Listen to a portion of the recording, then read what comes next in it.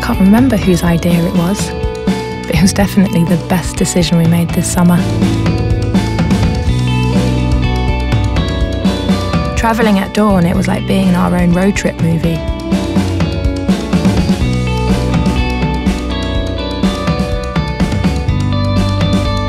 Jumping out of the car and running over the dunes, I felt like a kid again.